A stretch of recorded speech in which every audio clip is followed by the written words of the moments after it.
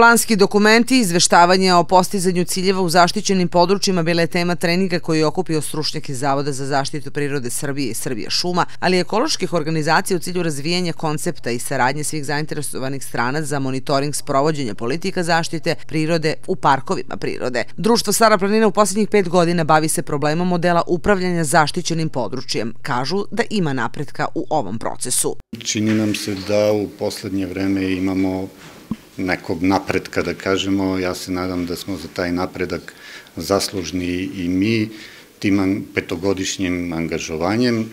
Naime, u poslednjih godinu dana e, velike neke organizacije su dobile programe, petogodišnje programe u iznosu od po 5 miliona dolara. Dobili su Beogradska otvorena škola, zatim Mladi istraživači Srbije, onda u okviru tog programa dobili su i priliku da neke manje organizacije kroz neka sredstva na lokalu plasiraju neka sredstva koja će postaći lokalnu zajednicu da učestvuje u, u promeni tog modela upravljanja, da kažemo. To je da je podstaknu da dođemo do jednog modela upravljanja gde će lokalna zajednica imati veće učešće, da budemo precizniji ovako. Između ostalog, ovom prilikom govorilo se i o novim planovima za razvoj regije Stare planine i da li će Stara planina postati nacionalni park. Da su ovi procesi dugi i kompleksni, potvrđuje i inicijativa ekološkog udruženja Rzavi Zarilja koje je 2015. godine podnelo Zavodu za zaštitu prirode Srbije zahtev za zaštitu područja Velikog Rzava. Posle tri godine istraživanja Zavod za zaštitu prirode je prošle godine izradio studiju, kaže Nataša Milivojević iz ovog udruženja i dodaje.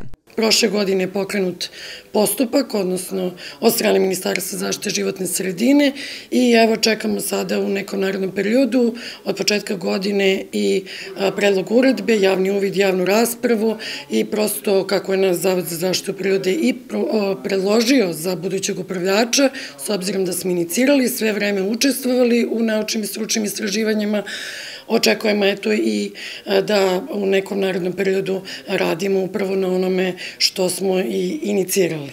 Proces je dugotrajan, većina područja u Srbiji je prolazila kroz čitav taj proces dosta dugi niz godina od izrade studije do samog pokretanja postupaka, postupaka proglašenja, tako da imamo za sada jedno sigurno deset velikih područja koje čeka proglašenje, odnosno prvijača. Ono što smo i mi kroz sve ove godine, još od 2010. godine, i spoznali, problem se rađa u nedostatku kapaciteta kako nadležne institucije, tako i finansijskih sredstava.